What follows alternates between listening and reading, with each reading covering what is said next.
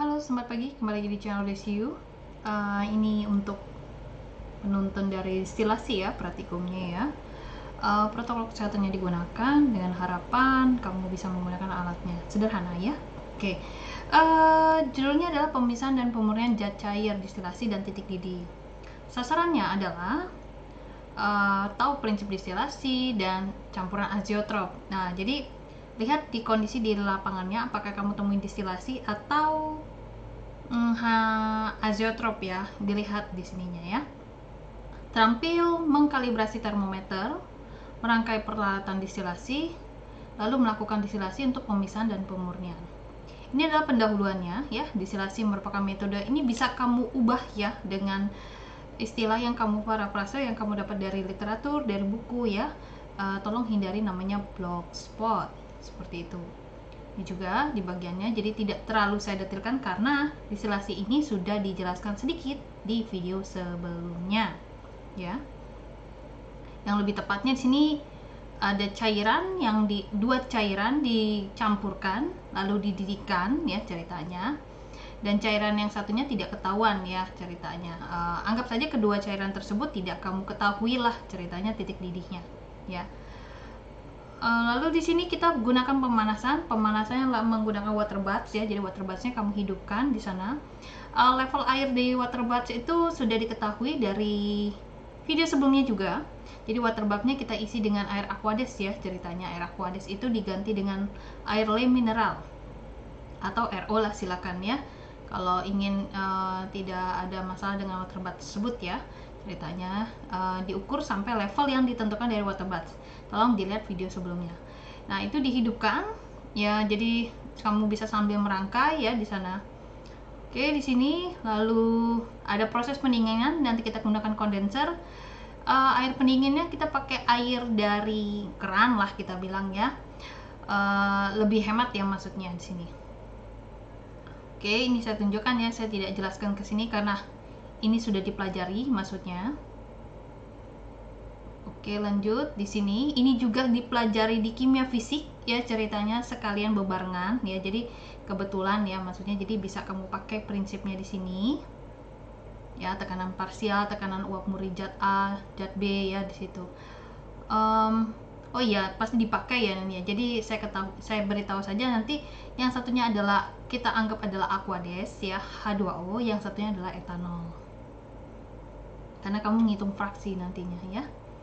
Oke ini juga ya. Nanti cari data fisiknya ya propertinya ya. Berapa tekanan tekanan uap murninya ya dari etanol maupun si air. Dicantumkan dapat dari mana literaturnya. Oke di sini ya. Uh, kenapa nggak dijelaskan ya? Karena sudah diajarkan di kimia fisik kebetulan saya ngajar jadinya. Oke nanti tinggal merujuk ke sana ya. Ada hukum roll di sini Oke, sini sampel zat murni ya dijelaskan. Ini saya tunjukkan saja. Oke, ini adalah grafik ilustrasi proses distilasi sampel murni ya. Ada suhu dan uh, tekanan uap di sini.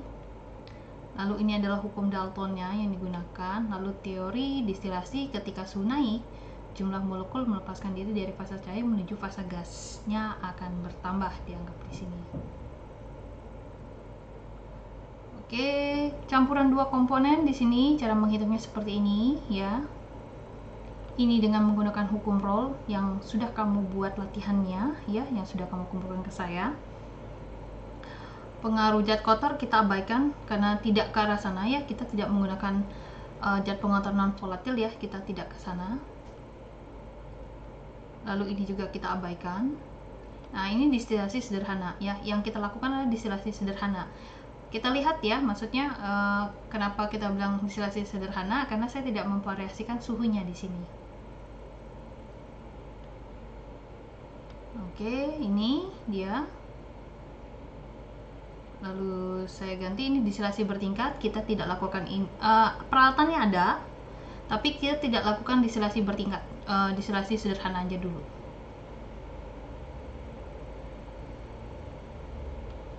Oke, ini menghitungnya, tapi yang mau dijelaskan bukan ke sini ya ceritanya. Oke, uh, nah ini kurva distilasinya ya. Jadi nanti yang kamu kerjakan itu adalah saya sudah buatkan. Jadi kamu kan ada kelompok 1, 2, 3, 4 ya kalau diurut dari jadwal ya. Kamu bisa lihat ya. Jadi jadwal yang kemarin walaupun ada jadwal yang berubah itu tetap dia adalah kelompok kesekian.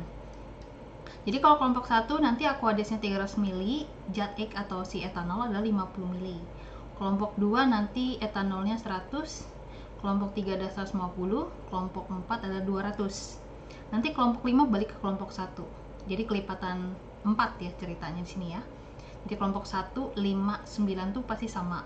Sampai 13 dan kawan-kawan ya. Oke ini dia zeotropnya. Lalu ini cara mengkalibrasi termometer. Nah jadi kalau mau mengkalibrasi ya beli es lah di luar ya ceritanya. Uh, mencelupkan dengan campuran es yang diaduk dengan homogen. Kamu lihat dulu termometernya kalau dia kasih es. Suhunya ada nggak di bawah? Ya 0 derajat celcius seperti ini ini mau kalibrasi ya ceritanya. Oke ini kurva distilasinya ini nanti yang kamu buat ya ceritanya. Jadi uh, tar ini dijelaskan di bawah dulu ya. Ini alat yang skemanya ya tapi nanti gambar ini diubah dengan gambar yang kamu punya di praktikum ya tapi kamu ubah gambarnya bukan gambar yang seperti di praktikum ya kamu buat ke gambar dua dimensi ya. Gambar ulang lah ya kita bilang. Atau gambar tiga dimensi silakan. Bukan menggambar yang di lab ya maksudnya bukan. Jadi gambar gambar itunya ada gambar aslinya sama gambar yang kamu gambar ulang. Oke ini dia. Jadi kamu susun dulu peralatannya di sini ya Oke, uh, pakai jas ya, pakai sarung tangan. Ini kalibrasi termometernya, ya.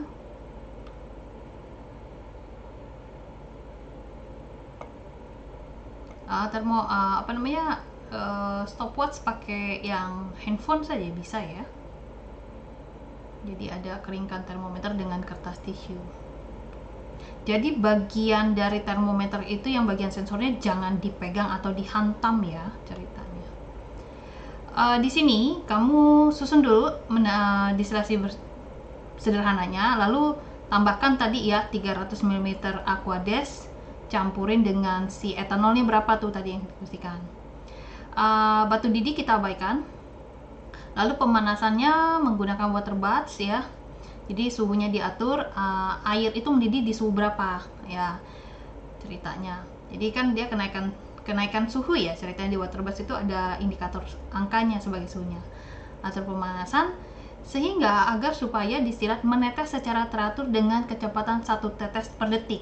Ini bisa kamu abaikan sebenarnya ya karena uh, ini kan metanol air ya, ya regennya aja sudah berbeda Lalu catat dan eh, amati dan catat suhu di mana tetesan pertama mulai mulai jatuh ya ceritanya ya. Tetesan pertama jatuh, suhunya dihitung. Nah, tapi suhunya itu sebenarnya bukan suhu yang di water bath, tapi suhu yang ada di labu leher 3. Ceritanya. Ya kan yang dipanasin kan labu leher 3 bukan si itunya ya. Oke. Lalu uh, sudah itu penampungnya diganti dengan yang bersih untuk menampung distilat murni ini monggo ya disituasikan ya maksudnya uh, udah disediakan gelas beker bahkan labu ukur juga ditambah dengan gelas ukur ya ceritanya. Lalu di situ uh, distilat suhunya sudah mendekati suhu didih sebenarnya sampai suhunya konstan. Nah jadi kamu sudah tahu etanol tuh suhu didihnya berapa sebenarnya ya ceritanya. Kalau misalnya mencap, uh, mencapai suhu air ya nanti yang nguap apa ya berarti kan kamu set secara nggak langsung jangan sampai mencapai suhu air mendidih. Mengapa? Kalau mencapai suhu air mendidih nanti yang dididih yang menguap itu etanol sama air ya. Makanya yang di dalam labu leher 3 nantinya campuran air dan uh, etanol itu jangan sampai mencapai suhu didihnya si air. Kenapa? Nanti airnya ikut menguap. Malah yang didistilasi nanti ya etanol juga ya air juga ceritanya ya. Oke di sini sudah Catatlah suhu dan volume disilat secara beratur. Misalnya kamu mau mengukurnya per 5 detik ya silakan ya ceritanya. Atau kamu mau selang setiap 5 mili ya silakan. Jadi saya mau lihat adalah cara kamu menganalisa data.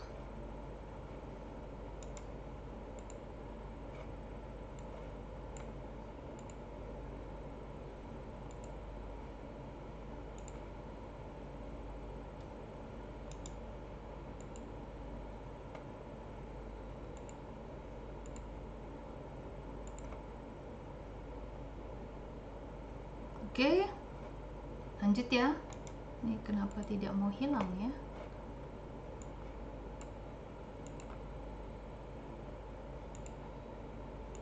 Oke lah ya, biarin aja ya kalau gitu ya.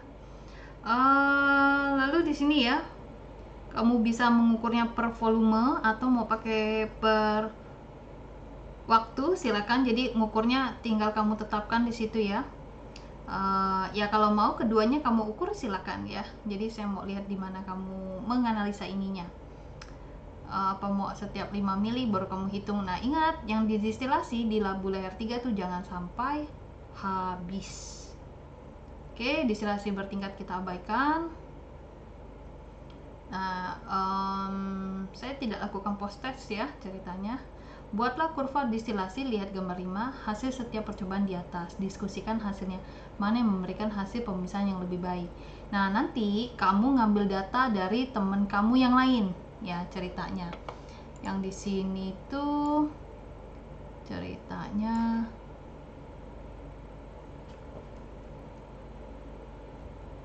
Oke, ya, kita ulang di sini ya. Jadi kamu harus membuat kurva distilasi di sini ya. Lalu nanti kamu bandingkan mana hasil pemisahan yang lebih baik ceritanya. Diskusikan hasilnya mana yang memisahkan hasil yang lebih baik. Ini tuh membandingkan ya ceritanya ya hasil distilasi dan senyawa murni ini tidak perlu ya ceritanya. Kamu hanya cukup memberikan bentuk kurva distilasinya saja. Oke, yang di bagian sini uh, ini diabaikan ya uh, sebenarnya sebentar. Suatu campuran isotermal ini, ini. Nah ini dia. Ini diabaikan karena titik didih awal campurannya ini ini ceritanya kalau kamu melakukan eksperimennya ini diabaikan ya ceritanya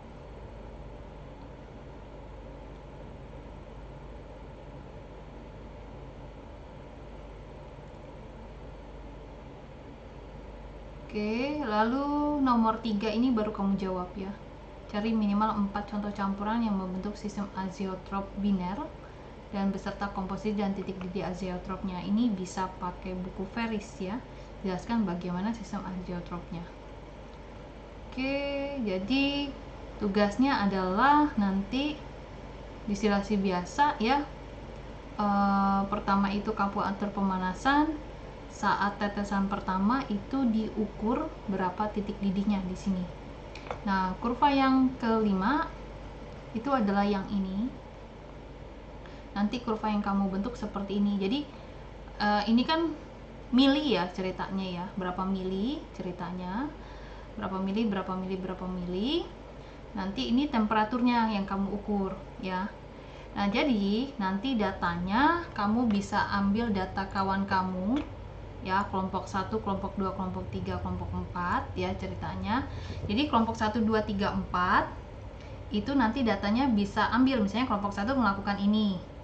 Kelompok 2 melakukan punya dia. Nanti bisa minta data hasil eksperimen kelompok 1 ya ceritanya. Kelompok 3 dan kelompok 4. Jadi nanti di sini titiknya akan ada uh, sebentar sebentar sebentar.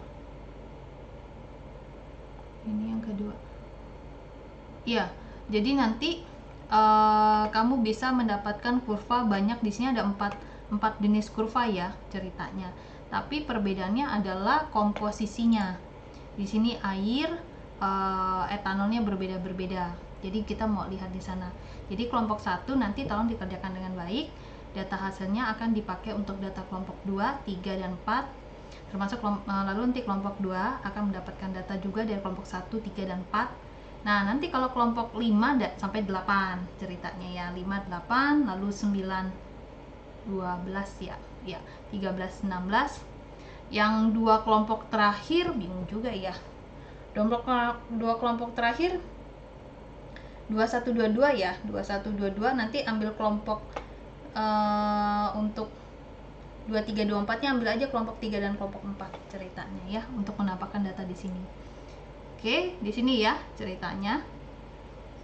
Uh, kalau untuk titik didih pure dari air kamu sudah tahu berapa. Cek pakai buku Ferris bisa properti. Lalu titik didih pure dari si etanol berapa bisa kamu cek di sana. Oke untuk lihat di sini. Nah kalau 2020 cukup pakai Excel saja ceritanya ya.